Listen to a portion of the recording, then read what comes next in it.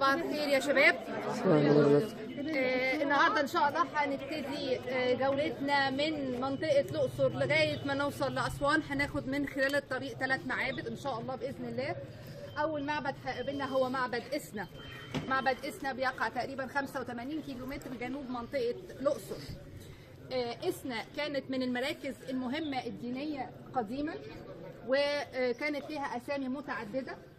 آه، زي مثلا كلمة إيوينو إيوينو معناها إيه؟ إيوينو معناها the Ennead خلاص؟ تمام؟ آه، آه، بتاع آه، التسوع بالظبط كده. علشان بس نبقى نراجع حاجة كده بسيطة بالنسبة للديانة. دايما المصري كان بيقول لك إن في آلهة كبرى. كان بي ال top بتاع الآلهة الكبرى دوت هو الإله رع. وبعد كده في مجموعة من الآلهة اللي حكموا اللي هم الآلهة لما يتقال عليهم ال Ennead.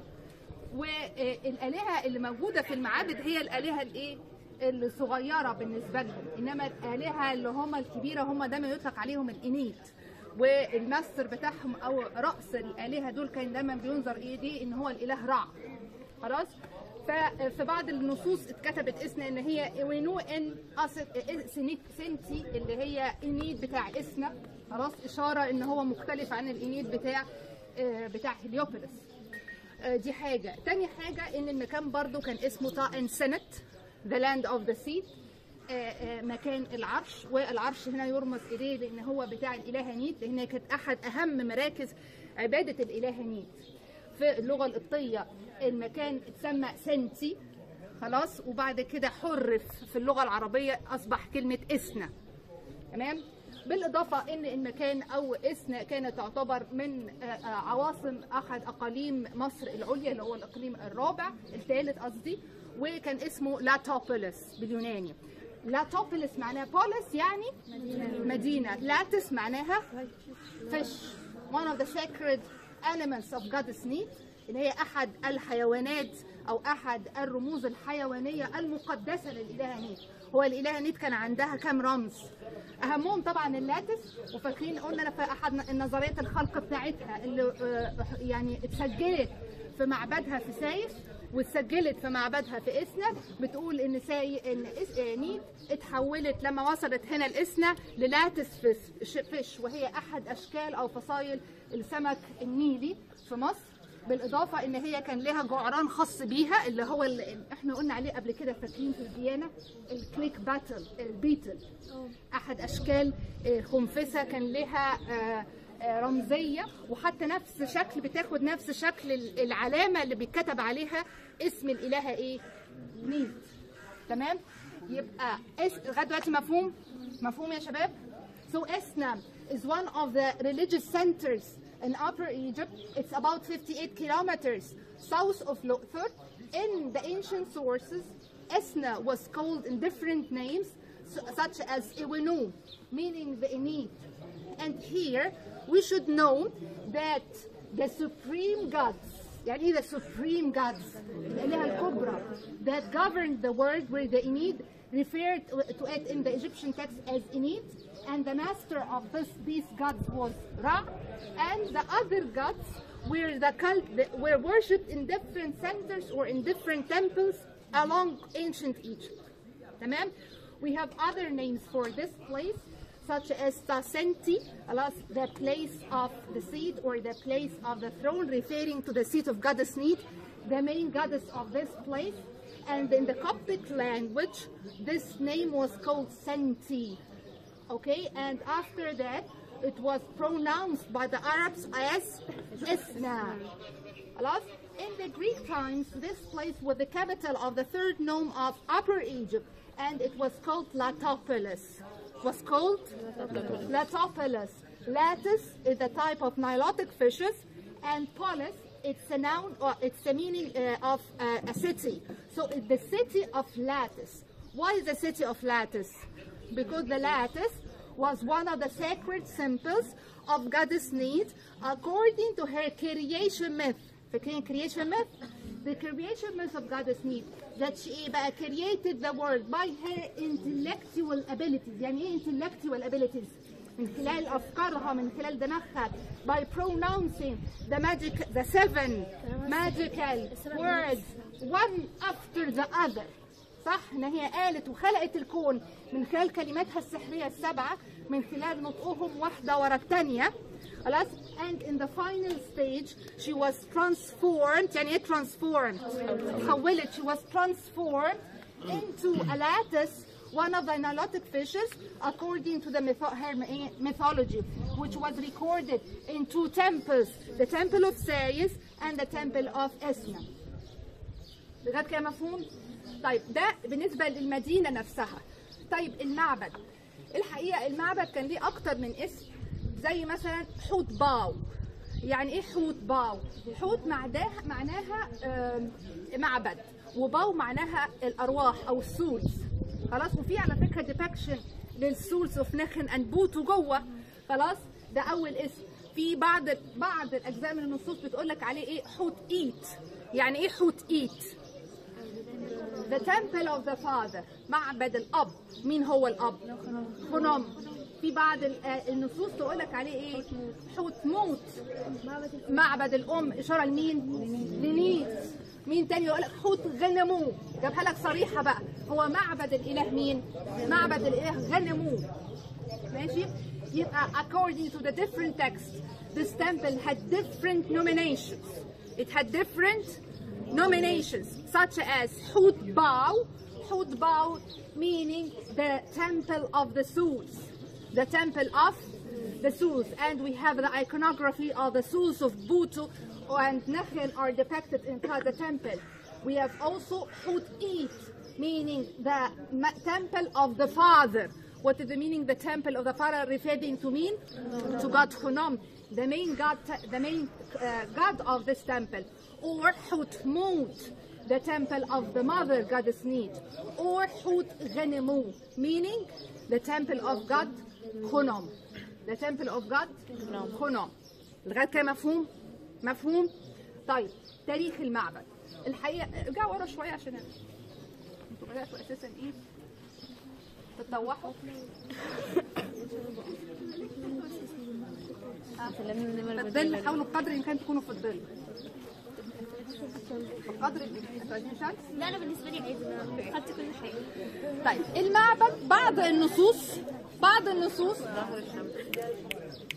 بعض النصوص قالت إن المعبد يقال إن كان في معبد هنا في عصر الدولة الوسطى. لكن المؤكد يعني بعض الناس بترجح أكتر إن كان في معبد هنا في عصر الدولة ال- الح- ال- الحديثة أو عصر الدولة الحديثة لأن إحنا لقينا ضمن النصوص اللي موجودة جوه إن بيقال اللي هو من خبراء اسم تحتمس الثالث موجود inscribed two times in this temple وبيذكر فيه إن تحتمس الثالث عمل تجديدات داخل معبد إسنا. خلاص؟ يعني اذا المكان كان موجود قبل كده على ريونز على أنقاض معبد بيرجع لعصر الدولة الحديث.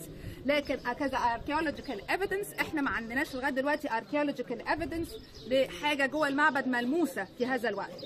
المعبد تم بناؤه في البدايه في عصر بطليموس السادس واستكمل في عصر الثامن وتم استخدامه طول العصر البطلمي. لكن لسبب أو لآخر المعبد يعني است- استخدمت ال blocks بتاعته بشكل أو آخر على طول فترات العصر البطلمي وتم إعادة يعني حصل له enlargement في العصر الروماني. وعلشان كده دايما بنقول إن معبد إسنا 99% منه روماني. إيه الجزء البطلمي اللي عندك؟ ال rear wall. آخر الحيطة اللي ورا دي هي اللي هي بطلم البطلمي فقط. إنما الباقي كله روماني. ماشي يا شباب؟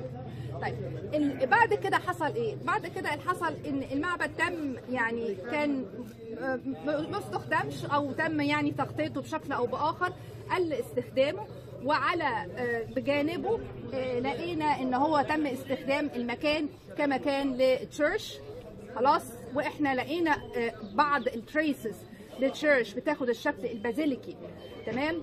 في بجانب هذا المكان وهنشرحها اللي هو الجزء ده وفي ورا بعض المكتشفات لبعض ال sarcophagi عليها أشكال crosses فده معناه إن المكان بعد انتشار المسيحية تم استخدامه ككنيسة أو كمكان للتعبد في هذا الوقت. في عصر محمد علي وعصر آه، حملة نابليون بونابرت هذا المكان تم استخدامه لحاجتين إن أنا بخزن فيه القطن وبخزن فيه حاجة اسمها البارود خلاص اللي هو ال gunpowder والقصة ديت اثرت بشكل أو باخر على الرسومات وعلى سلامه المبنى نفسه وعلى سلامه المبنى نفسه مفهوم كده مفهوم so this temple this temple uh, some scholars uh, say according to different texts that there was once a temple a pharaonic temple dating back to the middle kingdom However, it's more confirmed that there was once a temple dating back to the New Kingdom. Why? Because the name of Thutmose III of the of the New Kingdom was mentioned many times inside the temple, confirming that this king made the restorations and made enlargement in the older temple.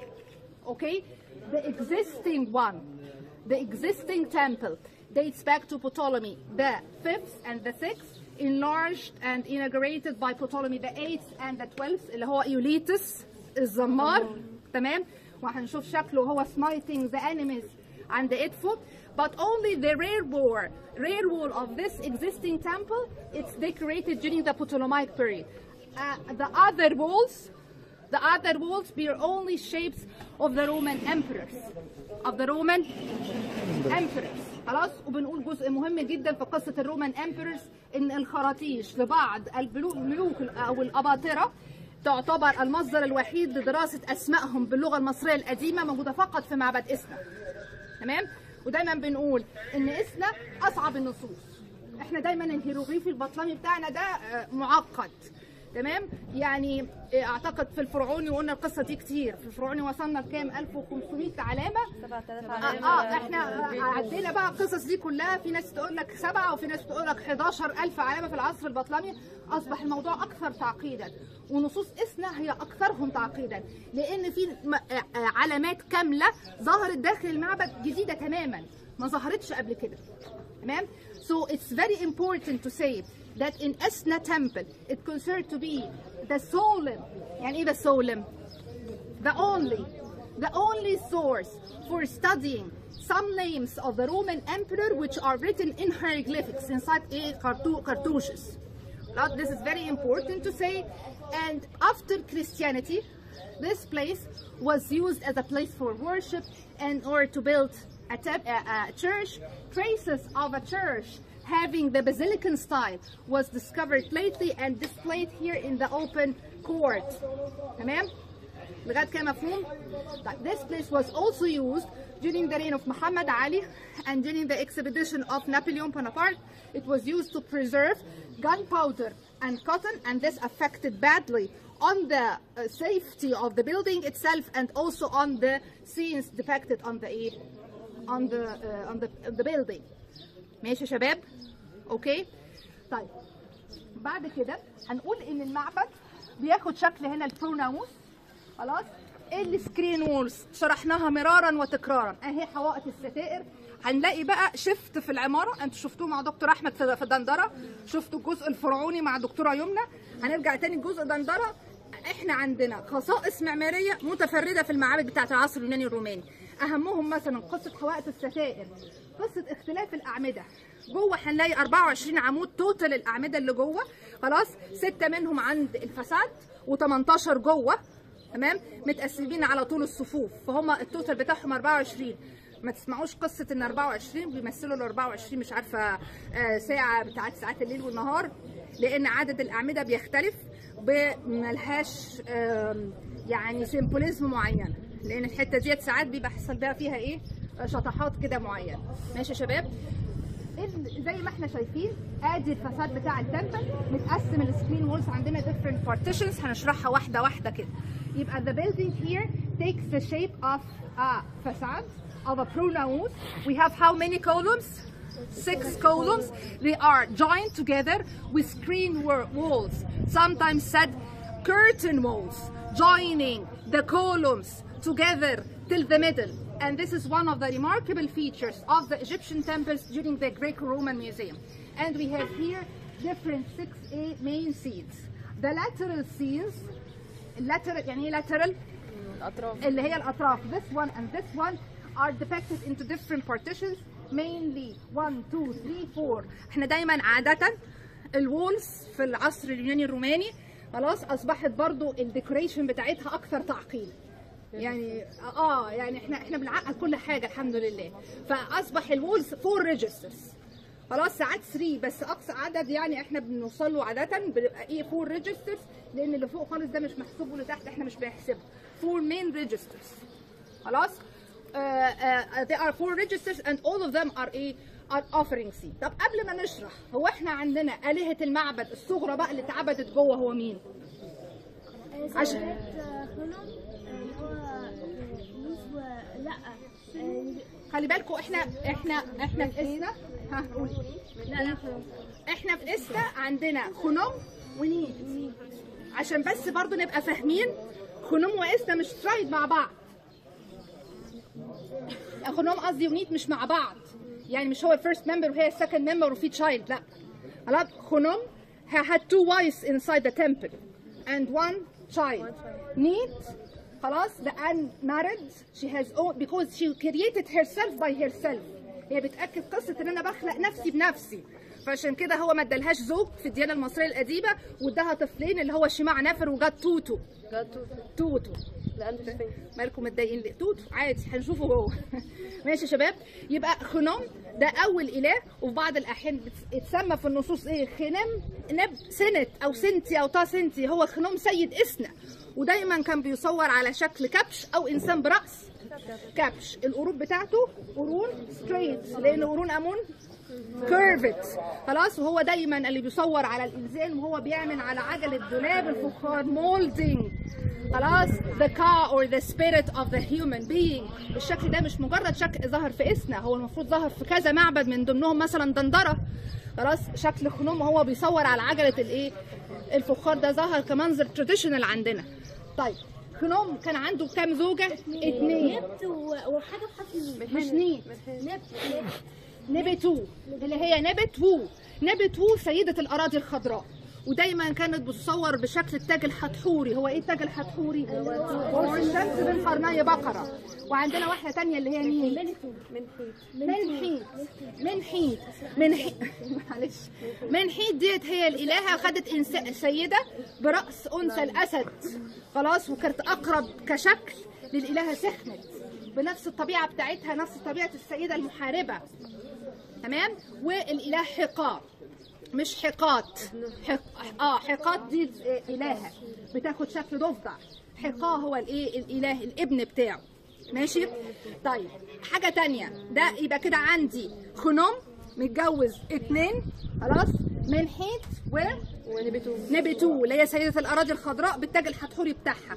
والابن حقا أدي أول أسرة. الأسرة الثانية بقى نيت اللي هي مش محتاجة زوج لأن هي بتخلق نفسها بنفسها.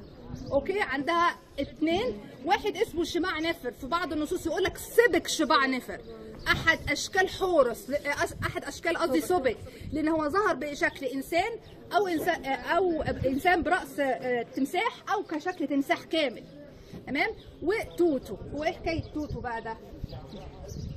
توتو هو أحد الآلهة الحامية وظهر في شكل androsphinx خلاص إحنا عندنا كام شكل من أشكال ابو الهول ثلاثة اللي هو ال androsphinx human headed hieracosphinx falcon headed criosphinx ram headed. هو شكل ظهر أكتر بشكل الايه ال human sphinx.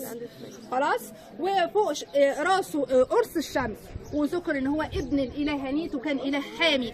له ظهرت له عبادة خاصة جدا في منطقة الواحات البحرية. وخصوصا في العصر اليوناني الروماني كشكل من أشكال الحماية.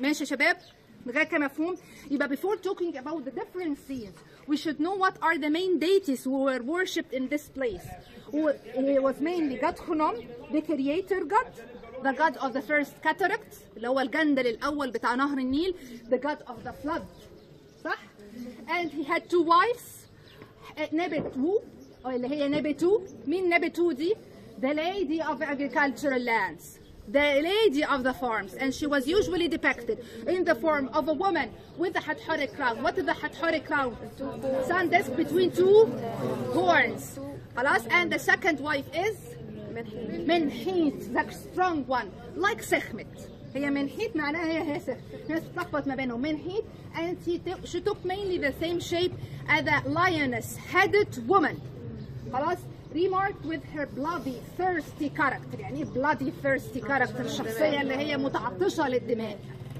ماشي and the son was ايه was حقا not حقات حقا okay and the second part is for goddess Neat the goddess of a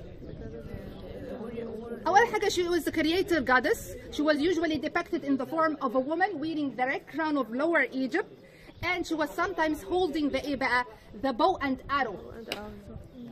She was assimilated with the Greek goddess Athena, إلهة الحرب. Okay, and she had two sacred symbols, as we said before, is the lattice fish and the click beetle, one of the shapes of beetles in or uh, in ancient Egypt. ماشي he had she had two sons without a father why without a father because she was a creator god she didn't need a father she created herself by herself خلاص and the first son is Shema' Nefer in some texts Sebek Shema' Nefer one of the forms of the Sobek he, was usually depicted in the form of a crocodile, complete crocodile, or a man with a, a head of a crocodile. The second one is a very remarkable god who's got tutu, and he was depicted in the form of an Andrew sphinx, Amen? And with the sun disk over his head, he was a protective god and specially worshipped in the deserted places as a sign of protection, especially in the western desert of Egypt. أوكي؟ طيب تعالوا كده مع بعض.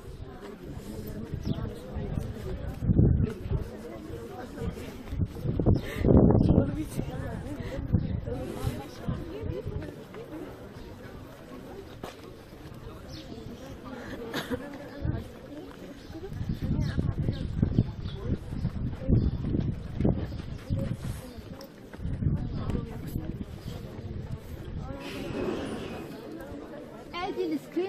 have here the two screen walls. The first one here is representing the man, the, the Roman emperor, being purified by uh, somebody found by Tahat and Horus.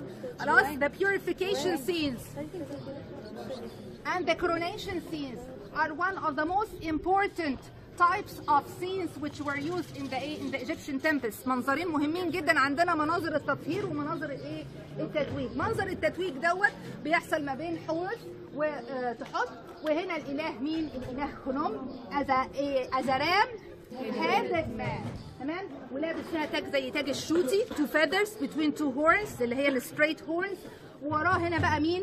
منحيت القوية بشكل سيدة برأس إيه؟ أنثى الأسد. يبقى this is the coronation scene the first scene here we can find the coronation scene for the Roman emperor being coronated by Tuhot and Horus as we said here the purification scenes and the coronation scenes are one of the most important and remarkable scenes in the Egyptian temples. Tuhot is representing the the uh, the the the, uh, the moon and uh, uh, sorry uh, Tuhot here is representing the moon and Horus is representing the sun as if the king is is protected daily day and night من خلال كانه بايه يتم حمايته صبح وبالليل هما بيح- بيحموه صبح إيه وبالليل and this activity is occurred or took place in the presence of two important deities of the temple Khunom here is depicted as a ram-headed man with the two shooty feathers two shooty feathers أصلا بتوع مين بتوع شو بتوع امون خلاص and also here Menhit one of the wives of God Khnum تمام نيجي هنا بقى تاني. اقفوا هنا شايفين العلامة دي؟ دي اللي كانت العامة اللي هي آه رخيت شايفينها؟ شايفينها؟ أهي. شايفينها يا شباب؟ علامة الرخيت ديت بتاعت ال common people بتظهر على الأعمدة وهنلاقيها في أعمدة اسنا وهنلاقيها في الأعمدة بتاعت منطقه خموم وكان دايما النص يقول لك إيه؟ ادي نب أهي. شايفين النب اللي تحت؟ علامة نب. وجنب جنب الرخيت في إيه؟ دواء يتعبد. وهنا ال- ال- البرد نفسه اسمه إيه؟ رخيت يبدو رخيت كل الشعب بيتعبد لك. خلاص كل الشعب بإيه؟ بيتعبد ليك. وده يعني يقول لك يعني إن الناس كلها تحت أمرك وتحت طوعك. خلاص ودي من أحد الأشكال أو من أحد الكومن فيتشرز اللي ظهرت especially في الإيجيبشن temples during the Greco-Roman period. خلاص يبقى on uh, uh, separating the two screen walls we have a very important sign which is repeat two hieroglyphic signs are joined together forming the a the sentence نب Dua Rechid. All the people are worshipping you. All the people are adoring you. Referring that all the common people are worshipping the main deities inside the temple. And this was one of the features of the Egyptian temples during the Greek Roman period. ماشي شباب؟ أوكي؟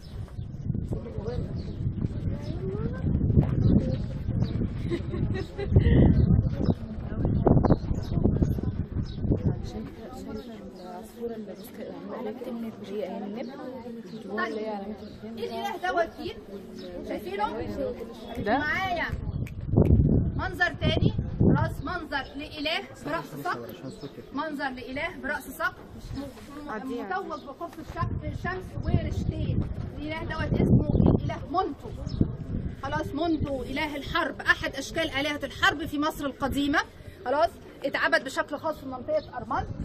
okay- okay. وكان ليه عجل كده خاص بيه اسمه العجل بخيس إن عبادة العجول عندنا منتشرة. يعني مثلا يقول لك Apis bull is incarnation the living shape of Ptah يعني أبيس هو الصورة الحية لبتاح. بوكيس هو الصورة الحية أو الصورة الحيوانية لمين؟ لمونتو إله الحرب. وهنا الإله آمن وهنا ورا الإله هنيد شايفين ماسكة إيه في إيديها؟ البوز arrow as a goddess of إيه؟ the goddess of war. As the goddess of war. So here we can find once again the Roman emperor خلاص with his soft facial features. هو متصور إن هو خواجة خلي بالكم هو مش متصور بشكل مصري 100% يعني الفيشل فيتشرز بتاعته اختلفت حتى في النحو عن الفرعوني ماشي and he is wearing إيه بقى What is the type of this crown? Otter crown, yes. Two horns, the Osirian A crown, and over it the sun disk, and two feathers. شكل من الفدر اهي باينة. شايفينها بس التاني طبعا للأسف إيه مش موجود. خلاص and he is here if I find God Monto. God Monto is a god of war, one of the main god of wars in ancient Egypt. He was depicted as a falcon-headed man, crowned with a solar sun disk and two feathers. His main cult center was Armand and the sacred bull of it is Bukhis bull. He is placing or presenting the Ankh sign into the uh, the mouth or the nostrils قدام الفم او الايه او الانف بتاعت الامبرor to give him life to give him life and behind him we can find Atom and in this the presence of this procession is taking place in front of goddess Neat and goddess Neat here is presented with the red crown of Lower Egypt holding the bow and arrows as also a goddess of warrior ماشي يا شباب لغايه كده مفهوم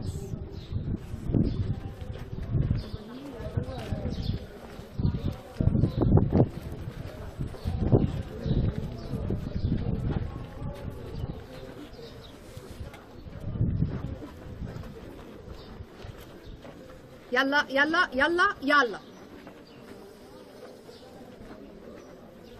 طيب ادي المنظر اهوت. نخبت and واد and وادجت are إيه بقى إن هم بيرشدوا الملك إن هو بيدخل المعبد ودوت بيحصل في حضرة الإله. مين بقى؟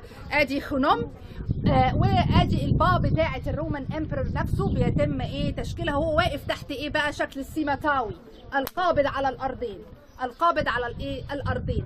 طبعا آه، إحنا أكيد اتكلمتوا كتير على نخبة واجد. هما الالهتين بتوع آلهة مصر. خلاص واجد هي بتمثل lower Egypt before the unification and she was mainly worshipped في بوتو منطقة تل الفراعين محافظة كفر الشيخ. ونخبت كانت هي إلهة مصر العليا وكانت. موجودة في منطقة نخن اللي هي هيراكنوبوليس مو- حاليا في أسوان. خلاص بعد التوحيد بعد التوحيد من خلال توحيد مصر ال unification اللي حصل أصبح من أكتر المناظر اللي بتظهر فيها نخبت ووادجت مناظر التطهير مناظر ال coronation علشان بتؤكد إن الإله دوت هو القابض على الأرضين اللي يقدر يسيطر على الإيه؟ الأرضين. يبقى the third partition of the screen walls represent another important scene for the Roman emperor wearing the double crown of Upper and Lower Egypt which is called بس عليكم سخمتي خلاص سخم means power خلاص T سخمتي two powers سخمتي belonging to the two powers upper and lower Egypt خلاص he is here guided by two important goddesses in the ancient Egyptian religion who is called Nekhbet and Wadjet. Nekhbet was the goddess of Upper Egypt and before unification she was mainly worshipped in Nekhen خلاص Heraclinopolis in Aswan. Her main sacred symbol was a the vulture اللي هي طائر أنثى العقاب. شايفين اللي على راسها؟ ال- الهدرس اللي فوق شعرها. خلاص ده شكل أنثى العقاب. خلاص ال ال ال ال الريش والجناحات بتاعت أنثى العقاب أهي. وفوقيه هنا هي بشكل اكسبشنال لابسة التاج الاوزيري and in the other side we can find mean goddess Wadjet, uh, the goddess of Lower Egypt, and she was mainly worshipped in Lower Egypt in Butu, Tel el Farain Kafr Sheikh governorate, and they are uh, uh, leading or guiding the king in uh, the Roman emperor inside the temple in the presence of God Khunom. Here, at the ram-headed man wearing the disk between two feathers and his two horns and modeling the bar of the, A of the Roman emperor who is standing over the, the, the Sima Tawi.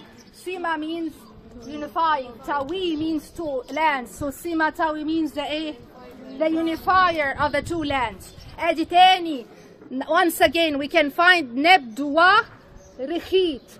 All people are worshipping you.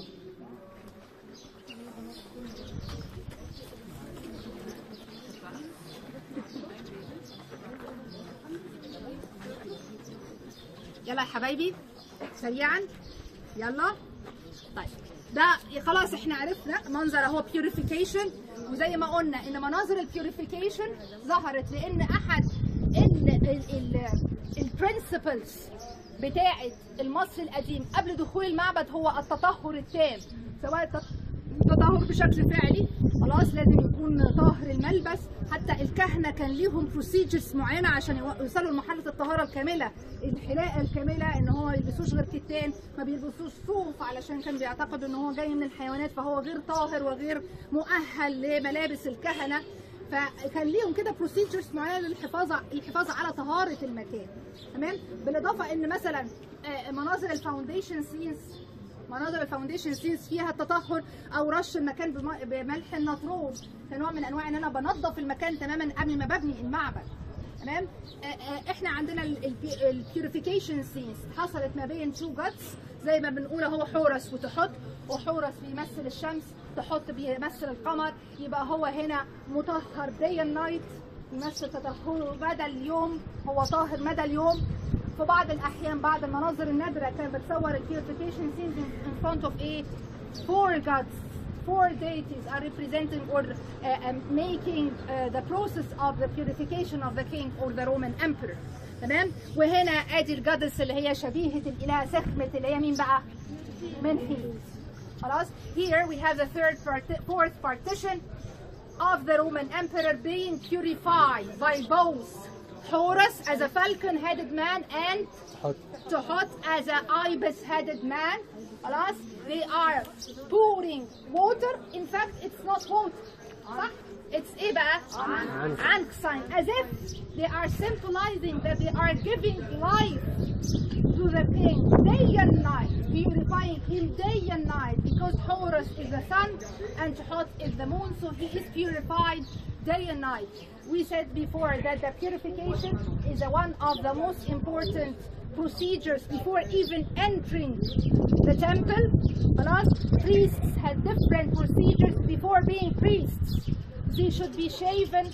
They should only wear uh, cotton uh, uh, clothes without having any wool clothes. Amen. Uh, the king itself, himself should be purified. Okay, يا شباب. Even the temple territory was purified with natural sand in order to be uh, uh, يعني, uh, clean enough and purified enough before any uh, uh, in construction. And in some other cases, in some other scenes, the king or the Roman emperor was pu- purified by how many uh, deities? Four deities, not only two deities. ماشي يا شباب؟ Here the purification process they are wear, holding إيه بقى؟ The hess jars. They are type of water jars. إحنا عندنا أشكال كتير من الووتر جارز موجودة في في في, في الفن المصري. وعندنا حاجة برضو مختلفة شوية. هي ظهرت قبل كده بس ما ظهرتش كتير إن هما الاثنين واقفين على pedestal عالي. شايفينها؟ حورس وإيه؟ وتحوت واقفين على pedestal عالي. ما ظهرتش كتير. يعني دايما كانوا على نفس الايه على نفس ال ground line تمام يبقى here we, they are raised on two pedestals and the purification uh, scene itself is taking place in front of one of the goddess of God Hunom, goddess Menhit, the powerful one and the lioness headed deity ماشي يا شباب تاني اهو ناب دواري خيط شايفينها ناب دواري خيط موجوده دايما اشاره لان common people are ايه worshiping this deity قبل ما اخش المعبد تعالوا كده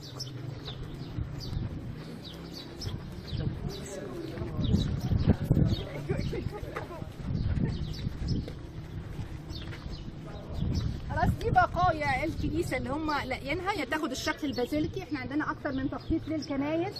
إحنا عندنا أكتر من تخطيط للكنايس. ماشي؟ أهمهم أو أكثرهم انتشارا في مصر اللي هو الطراز البازيليكي اللي هو عبارة عن نيف and two aisles. The S is last two aisles. Uh, here we have traces in the open court. They are displayed now as an open museum. This is the traces of the Byzantine church, which was uh, built after the spread of Christianity in this place. And it takes the shape of the Basilican style. It's a nave flanked by two a by two eyes and having a, an apse. and probably this church dates back to the 4th or the 5th century AD, probably. ماشي يا شباب تعالوا ندخل جوه.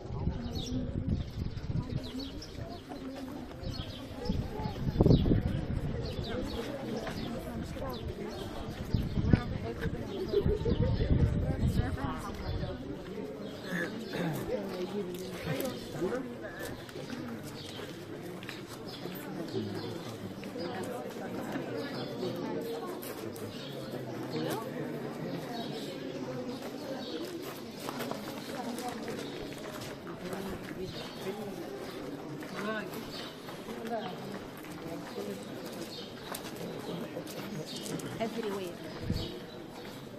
صار everywhere لا هو ديكوريشن وير وطب الجزء دوت أقل حتى في الديكوريشن من ده الديكوريشن ده أكمل شوية.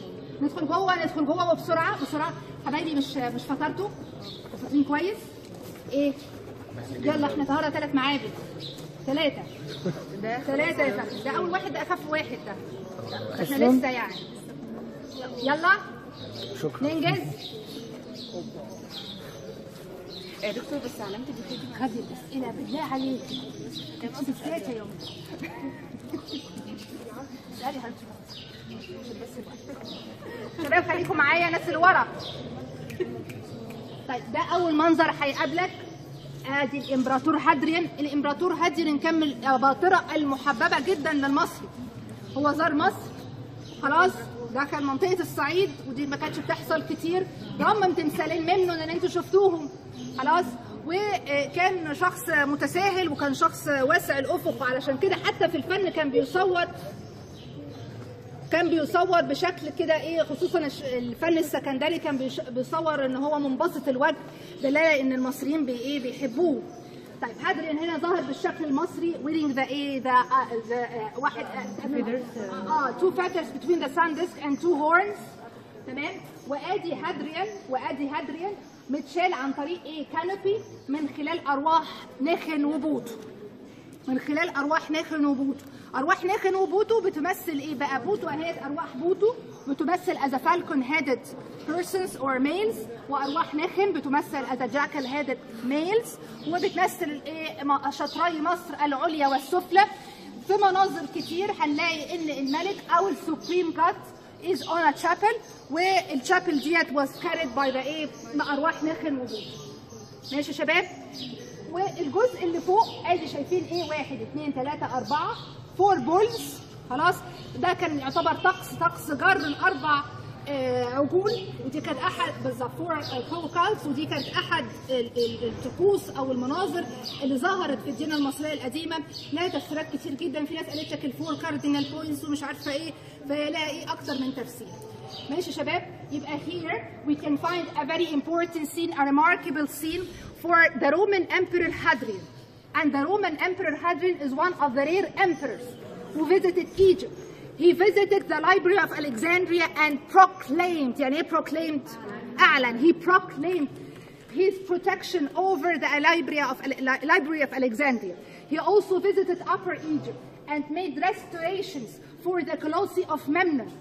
Here he is represented in a complete Egyptian style. خلاص? Wearing the solar sun disk between two feathers and two ram horns, straight la- ram horns. And also he is wearing a long robe وده تأثير يوناني. هو مش لابس الشنديد. خلاص الكلوك دي في بعض الأحيان يقول لك عليها الرداء المقدوني.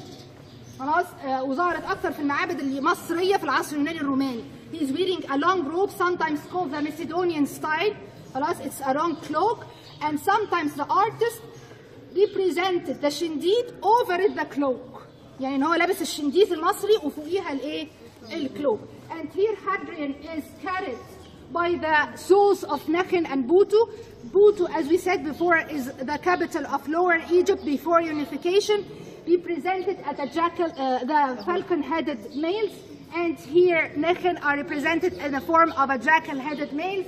Over this scene, we can find the, ki- the emperor adoring the four bulls, and this is one of the sacred rituals and the sacred uh, uh, يعني طقس ritual in ancient Egyptian religion. تعالوا كده معايا.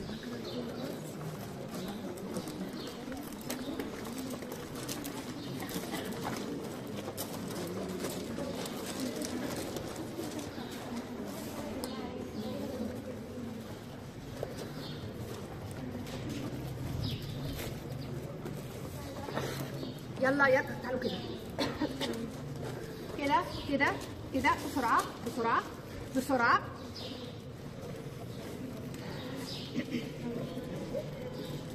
شايفين ال- السقف زمان وحاجة عظيمة جدا. رمل يعني الحقيقة هيئة ال- ال- وزارة الآثار عاملة شغل عالي.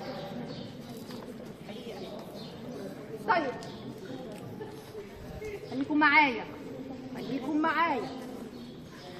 آدي المنظر اللي فوق شايفين المنظر اللي فوق ده؟ شايفينه يا شباب؟ أهو. خلاص complete crocodile هنا وده سبك شماع نفر وتحتيه هنلاقي منظر للإمبراطور وقدامه مين دي بقى؟ سيشات. ووراه جاد سنيت وراها جاد سنيت وهما بيعملوا منظر لإيه بقى؟ لتأسيس المعبد. خلاص اللي هو فرد الحبل. مناظر تأسيس المعبد كانت أحد المناظر المحببة جدا خصوصا في المعابد المصرية خلال العصر اليوناني الروماني تمام؟ اللي هو منظر شد الحبل. هم بعد ما بيحددوا الأربع جهات الأصلية بيروحوا شادين حبل كده معين محددين الجهات اللي هم هيبدأوا يشتغلوا عليها. وعادة بيصور في هذا المنظر الالهه سيشات وهي الالهه اللي كانت ال protector خلاص لبيت هي كانت ال- الحامية لمكتب للمكتبة الحامية للعلم الحامية لل writing بعض النصوص وصفتها إن هي أخت الإله تحوت بعض النصوص الأخرى وصفتها إن هي بنت الإله تحوت. وفوق راسها سبع نجمة بسبع اذرع الحقيقة المفسرين اختلفوا في قصة السبع اذرع بيمثلوا إيه؟ هنا هي ممثلة على فكرة بتلبس إيه بقى؟ الليبرد الليوبر اللي هو البانثر سكين.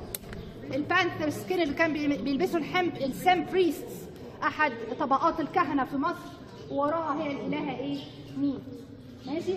here we have two important scenes here we can find the Roman emperor is making adoration in the kneeling pose he is making adoration in the kneeling pose in front of Sibik Sibik Shema Nefer as a complete crocodile okay يا شباب and in the other scene the main scene represent the Roman emperor with the ايه بقى with the Atif crown the white crown, solar sun disk, topped by a solar sun disk, and two horns, two feathers.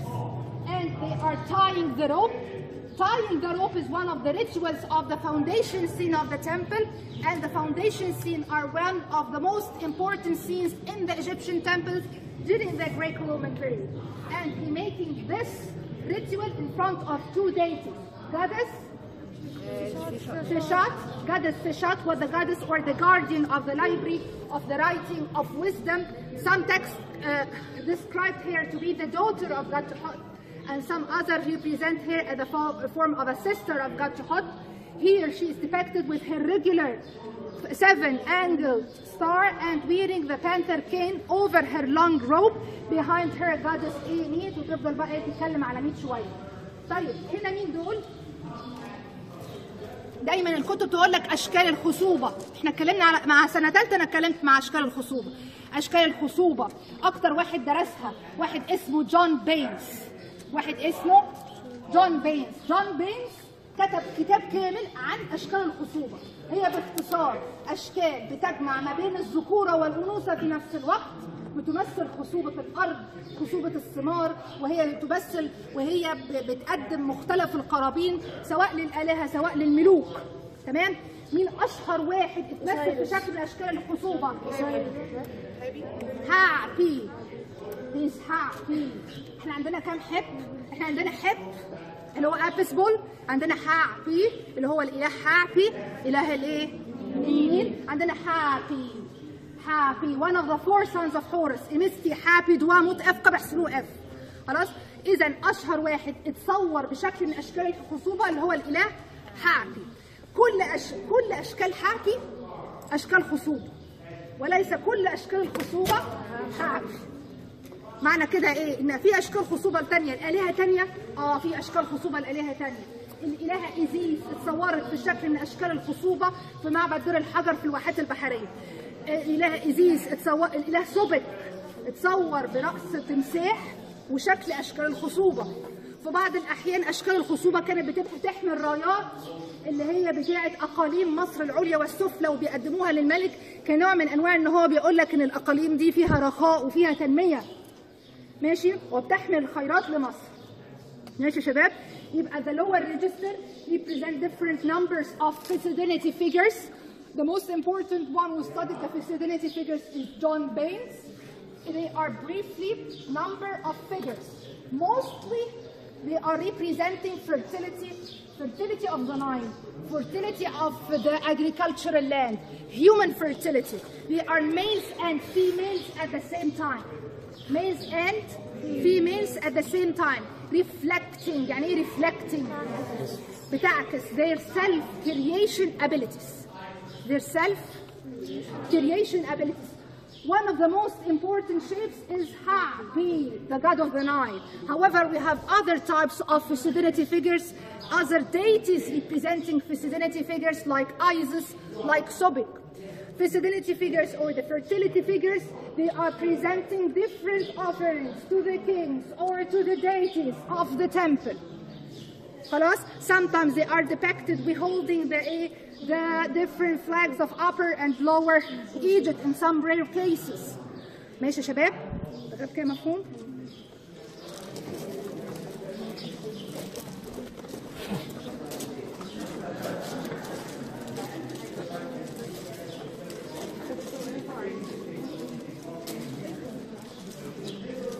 خليكم معايا خليكم معايا خلي الراجل يشتغل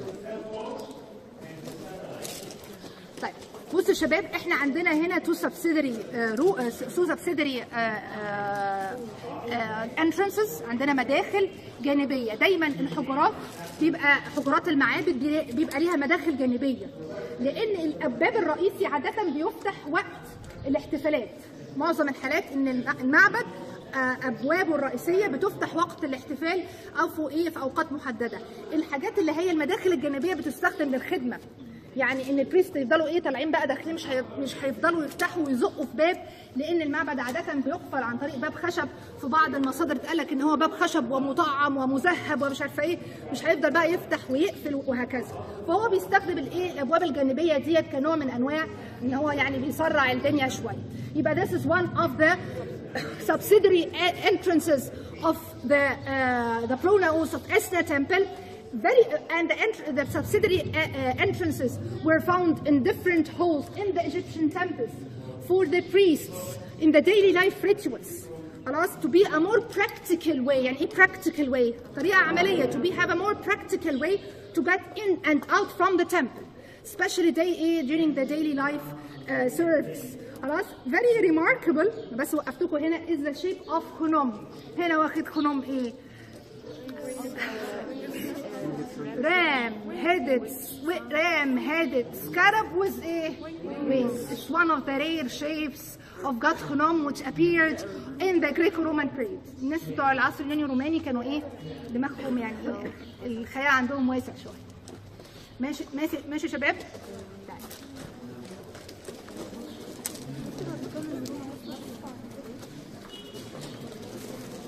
حاليا هوريكم بس حاجة سريعه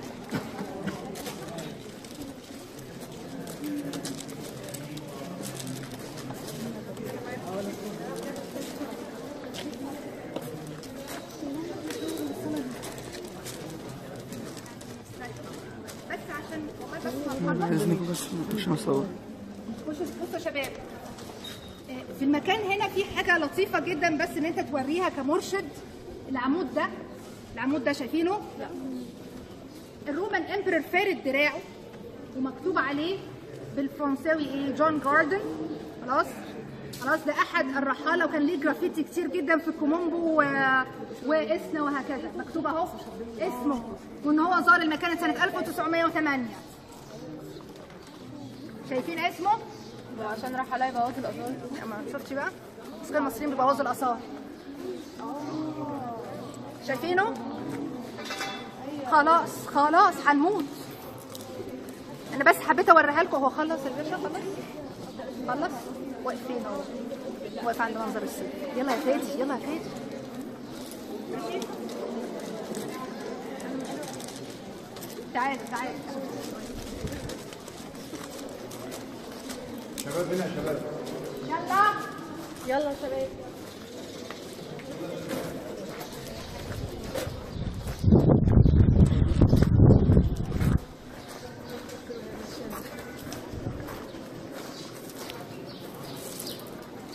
ده البخور. شاطرين برافو. بخور. أنا احب الناس اللي لما بتطلع الرحلة يبقوا ذاكرين أنتوا سنة رابعة أنا ماليش حكم عليكم مش واخدة المادة والله. انت عليك المطر على شرط المعمل ما كنتش ما كنتش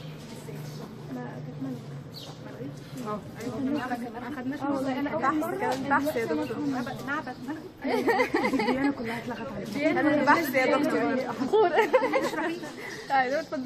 لا اتفضلي بتحاولي اتفضلي سنه ثالثه مفيش حد كده يفرح قلبي بحاجه حسبي الله. ما. طيب ده منظر البخور. أيوة. أوكي منظر حرق البخور. إحنا عندنا مناظر كتير جدا للتقديمات. شفنا زي مصر. آه دكتور أحمد طبعا عمل الواجب وزياده أنا سمعت إن هو يعني أيوه أنا قلت له. موتهم إحنا عندنا مناظر تقديمات كتير جدا. خلاص من أشهر الناس اللي درست تقديمات في كتاب اسمه Offering to the Gods. يعني اوفرنجز كتير جدا. من ضمن البخور والبريد ومش عارفة إيه والزهور تقديمات الزهور وتق... إحنا عندنا مثلا 40 نوع من أنواع العيش بتقدمه في مصر. وعلى فكرة العيش كانوا بيحطوا فيه عسل وبيحطوا فيه آه، فواكه مجففة وزبيب ومش عارفة إيه مش بياكلوا وفي أشكال مختلفة من العيش. تقديمات العيش دي لوحدها حكاية. خلاص؟ ففي أنواع كتير جدا من التقديمات لدرجة إن الم- الم- المصري خصوصا في العصر الروماني خصص أوضة اسمها إيه؟ وسخت إيه؟ حتبوب hall of offering هي هي صالة التقديمات. فإذا التقديمات كان لها دور كبير جدا في الديانة المصرية القديمة. في البداية كانوا بيحطوا ال offerings بشكل أساسي. بيحطوا أكل وشرب وبتاع. وبعد كده لقوا إن الحاجات برضو بتخسر ومش practical فبدأوا يرسموا على واجهات المعابد والمقابر ال offerings المختلفة اللي هم بيدوها سواء للآلهة ارضاء ليهم سواء للمتوفى علشان يبقى ليه زاد في العالم الآخر إن هو بيقدم له مختلف أنواع الايه الأكل كزاد ليه في العالم الآخر. هنا التأثير اليوناني الروماني ظاهر إن هو لابس هنا إيه هي هنا مش ال Macedonian robe مش مش ال cloak بس هي كأنها كده إيه skirt long skirt over the shendyt kilt ده عصر روماني ما يظهرش في العصر الفرعوني وادي هو حرق البخور قدام الايه الاستاذ خنون ماشي شباب يبقى here with one of the remarkable scenes خلاص of the offering scenes burning the incense burning the incense before the god god Khunom the main god of the temple and here we can find the Roman effect in the in the long garment over the short shindid kilt over the short shindid kilt تمام؟ This small hole this small hole إحنا دايما عندنا حاجات معينة في في الأوض بتاعة المعابد. لازم يبقى في أوضة اخذها لازم يبقى في مصدر للمية. لازم يبقى في سبسيدري إيه؟ رومز علشان أعرف أدخل وأخرج عشان يبقى في مصدر للمية عندي عشان يبقى في أدوات أحطها جوه. so this is a subsidiary room which was probably used for preserving the different tools that were used during the eh, the, the, the festivals and rituals of the temple ماشي يا شباب خش خش خلى عليك خلى عليك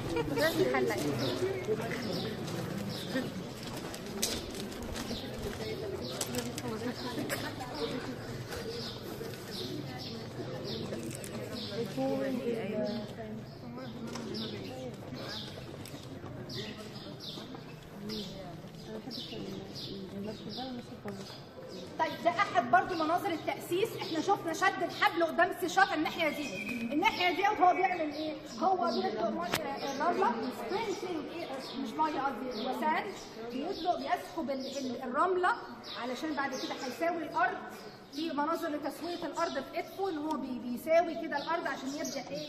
يبني المعبد so this is one of the foundation scenes of Esna temple we can find here the emperor and can you see or recognize the remarkable decoration of the Shishinditkil اهي شايفين الديكوريشن بتاعتها عامله ازاي inside it we can find a lion a lion uh, uh, standing on his two hind legs تمام and here he is sprinkling the sand sprinkling the sand in front of or in the presence of God Hunon and his consort for his white goddess Menhint, the strong goddess.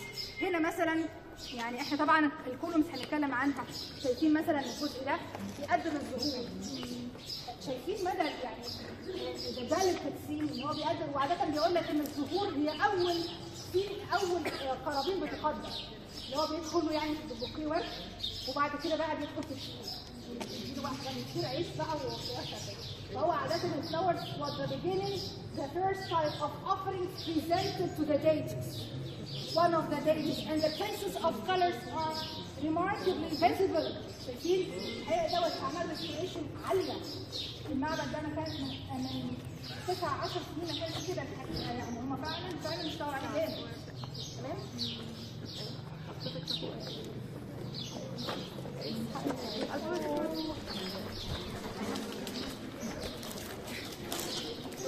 حد عايز يشرح؟ ما حد يجرب. سنة تالتة أنا لو حسبنت عليك من هنا الحكومة كلمة السبيل بس هو العيش. أيوة ده مش حد يلا. نسمع مهيارة سجاير remarkable scenes of our temple. ده أحد الأشكال المهمة عندنا. بتمثل زيارة الإمبراطور سبتيميوس سيفيروس. سبتيميوس سيفيروس ومعاه الإمبراطورة دوميتيا ومعاه ولدين وحبايبه كاراكالا وجيتا. كاراكالا الوحش قتل إيه؟ جيتا. ولما جه اسكندرية أهل اسكندرية كان لسانهم طويل. خلاص فراحوا قايلين إيه؟ كاراكالا قاتل اخيه جيتا فعشان كده راح ذبحه و plus إن هو تشبه نفسه بالاسكندر الأكبر. فالراجل اتغاظ هو أساسا كانت رايحة منه يعني. فراح ماسك الناس كلها قتلها. أوكي؟ وبعد ما تولى الحكم وبعد قتل أخوه راح شاطر عمل يعني demolishing لشكل جيتا هو مش عايز يسمع إيه سيرة أخوه تاني. ماشي؟ قدامه هنلاقي إيه؟ الإله خنوم. أهو خلاص أنت عرفت. دايما بنقول لو أنت شاطر في الديانة هتعرف تشرح معابد كويس. لأن بقيه الحاجات يعني ارقام الاعمده انت هتعرف تعدهم إيه اللي ناقصك تاني لو تعرف ديانه هتعرف تشرح ماشي وادي الاله خنوم وادي الاله اللطيفه الظريفه اللي واخده تاج حتحور a remarkable scene representing the visit of one of the Roman emperors who is called Septimius Severus and behind him his wife Domitia and his two sons Caracalla and Gita. It's known that Caracalla killed his brother Gita and therefore he was described to be Caracalla, killer of his brother. After his visit to Alexandria, the Alexandrians mocked at him, laughed at, at him because of his bloody, thirsty deeds, and because of imitating himself with Alexander the Great, who was an iconic figure. يعني ايه iconic figure؟ شكله اساسا هو واحد كان بالنسبه لهم شكل كده ايقونه كان يعني آه، حد بيقتدوا بيه حد بيحتذوا بيه فلما حد بي- بيشبه نفسه بالاسكندر كانت بالنسبة لهم كبيره قوي and therefore he gathered all the youth of Alexandrians and killed them after being the Roman emperor he gave his orders to kill his brother Peter تمام and very remarkable here once again is the long kilt over the short kilt the long kilt over the short kilt. In the presence here, God Hunom is giving the sign of life to the nostrils, to the nostrils, to the king of the Roman emperor, symbolizing that he is giving life to him. Here, God Hunom, as usual, is presented in the form of a ram-headed man, and behind him one of his wives Nebet Wu, the mistress of agricultural lands with her two Hatho- with her uh, Hathoric figure, sun disk between two horns, and behind him Hekad, his son.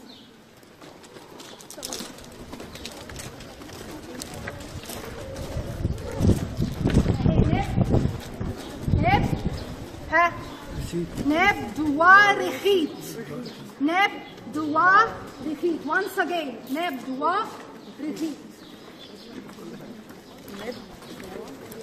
نعدي تعالوا بقى نقف عند منظر الصيد منظر الصيد أيوه We have here a French graffiti by one of the travelers by one of the travelers it's engraved on the arms of one of the columns here خلاص recording his visit to the temple recording his visit to the temple and this is very remarkable كذا حد يعني إيه مرشد يقف عند أنا بحاول اديك وقفات المرشد تعالى هنا بقى.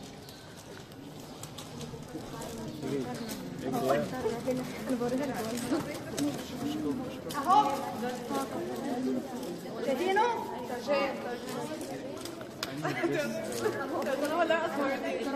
مرتين طيب ده منظر ده منظر الصيد. ادي منظر الصيد الشهير مختلف أنواع الطيور. وهنا عندنا الرومان إمبرور وهنا الامبراطور آه، وهنا آه، آه، آه، إيه تاني؟ حورس ورا خنوم ورا ايبس بيرز ايبس هيدد مان از تحط والناحية الثانية هنلاقي جادس شاط بنعرفها من النجمه بالرغم إن النحل للأسف إيه مش موجود. ماشي يا شباب؟ مناظر الصيد انتشرت بكثرة في المقابر لكن ما كانتش موجودة بكثرة في المعابد خمس أو ست مناظر تقريبا هي اللي كانت موجودة مناظر الصيد بتاعه الملك زيد وبعض ال scholars فسروها بإيه؟ إن إحنا عندنا ال birds وال Nile creatures تمام؟ وال- وال fishes والحاجات دي. معظمها كان فيها حاجات بتبقى تعتبر رموز شر لأن هي تبقى في قاع النهر. عشان كده يقول لك آه ما هو هنا حورس والملك بيقضي على رموز الشر بتاعت ست من خلال اصطيادها. من خلال اصطيادها so when this is one of the remarkable scenes سمع يا- فهمتوها يا شباب يا تانية وتالتة آه، تالتة ورابعة سبقة فهمتوها This is one of the remarkable scenes of Esna temple representing the Roman emperor here خلاص tying the rope of a net tying the rope of a net which is full of different types of fishes and birds. And he is led by the main deities such as Taurus, Khunum, and Tehot in the presence of goddess Seshat, the goddess or the guardian of the library. Uh, the, the fishing scenes are commonly found in the tombs. However, they were rarely found in the temples. Sc- Some scholars interpreted this scene that the fishes and birds inside the net are symbolizing the evil sec- uh, uh, symbols, the animal symbols of God Seth. So by this way, the Roman emperor, with the assistance of Horus, because the Roman emperor is a pharaoh, so he is Heran, the living Horus, هو حورس على الأرض, he is overcoming the sacred symbols of Set هو بيقضي على إيه؟ على الشر وانت واقف هنا كجايد هتروح شارح ده ده احد المناظر اللي بتمثل الامبراطور مين؟ تراجان وهو بيرقص خلاص وهو بيرقص خلاص منظر الرقص اتكرر مرتين مرة هنا ومرة في العمود رقم ثلاثة على الصف الثاني تحت. ماشي؟ آه، آه، مناظر الرقص في عندنا رقصات رقصات طقسية. خلاص؟ رقص مش من أجل الرقص الرقص من أجل الطقس. إن هو please هي دايما النص يقول لك إيه؟ please the heart of the day. عشان يسعد قلب الإله. يعني يسعد قلب معلش يبقى تراجان هير وده احد المناظر البسيطه جدا اللي بترجع للعصر الروماني قلنا ان الرير وول الجزء ده بالذات بيرجع إيه بطلاني أكتر قصدي احد الاشكال البسيطه اللي بتظهر في العصر الروماني So we have here the shape of Trajan making a ritual dance. Making a ritual dance. The ritual dance here was depicted how many times? Two times. Two times here in the rear wall and in the in the third rear column on the other side. Trajan is making the, the dance, the ritual dance in the presence of Menhit and Nebetu and according to the text, this ritual dance was to please the heart of the deities. To please the heart of the deities. ماشي يا شباب؟ خلاص عايزه اوريكم الجزء اللي ورا كده تعالوا نطلع بره. مجموعه من القطع انت اسمك ايه؟ محمود. خليك معانا يا محمود. تمام؟ آه، دي بعض القطع الأثرية اللي تم اكتشافها في هذا المكان من ضمنها مثلا توابيت وأغطية لبعض التوابيت. تم وعلى فكرة في حاجات فيها تأثير يوناني روماني. شايفين ال basin ده؟ آه هو مش lion على فكرة هو ده شكل سيلينيوس. قد بتاع أحد أتباع الاله ديونيسوس بمعنى كده إن كان في رومان ويونان هنا. خلاص بعض الأشكال عليها أشكال الكروسس شايفينها؟ ده معناه إن تم المكان ده تم استخدامه بعد انتشار المسيحية. يبقى in the same place we have also here an open museum طبعا هو محتاج يعني بعض الترتيب. خلاص for some pieces which were discovered in this site such as capital of columns, basins, lid of sarcophagi دي اسمها anthropoid sarcophagi لما يبقى غطا التابوت على شكل بشري يتقال عليه إيه؟ anthropoid sarcophagus شكل بشري تمام and here we have also different basins with Gothic figures the Selenius one of the followers of God Dionysus هنا and some of these basins are carved with the shape of crosses confirming يعني ايه confirming تؤكد that this place was used during a or after Christianity as a church or a place for a for worship ماشي تعال يلا يا نور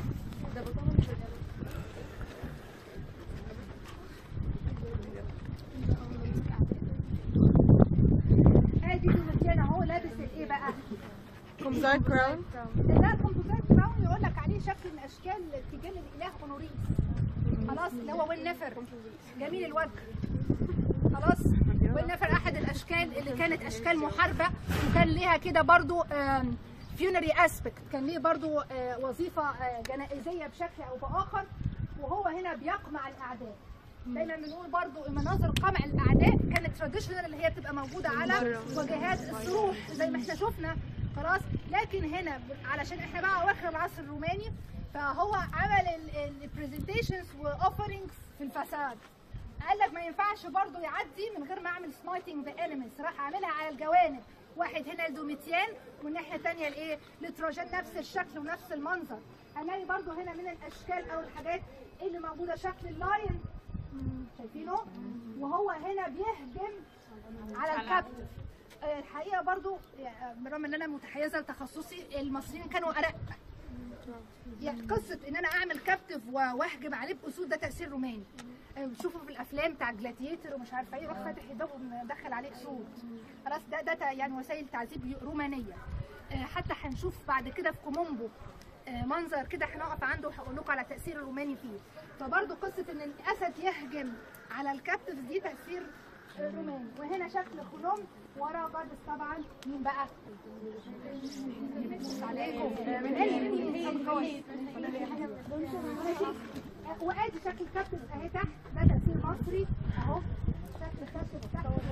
بتاعتها ده تأثير إيه؟ مصري ده برضو من الوقفات اللي تقف فيها. يعني تخلص خلص الاوبن كورت وتقف هنا وممكن ده بعد كده تبقى خلصت المعمل. ماشي؟ يبقى خلاص. يبقى this is one of the other remarkable scenes of this temple it represents Domitian here is smiting the enemies or smiting the captives in the presence of God Kunon and also goddess Menhit القوية and very remarkable here is the the shape of the lion beneath the legs of the emperor the lion here is attacking the captive and this is a Roman effect خلاص دايما المصري يقول لك لا تقتل الطفل لا تقتل الرضيع لا تقتل السيده في الحرب الرومان ما كانش عندهم عزيز ولا غير كله خلاص يبقى this is a Roman إيه ماشي يا شباب أوكي this scene is also repeated on the other lateral shape but, but instead of median we have Trajan instead of hip we have Neptune ماشي يا شباب أوكي مفهوم smiting the enemies finally we should say or noted that smiting the enemies was commonly found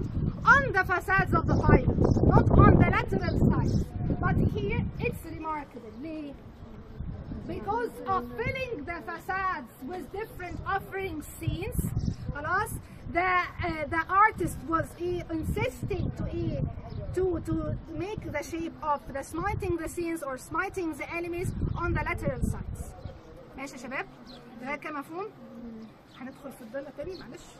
آخر حاجة قبل ما نطلع عندنا حاجتين مهمين جدا. الكابيتالز بتاعت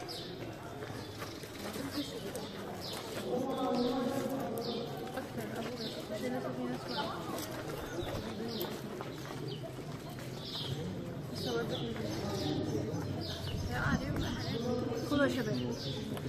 يا سلام.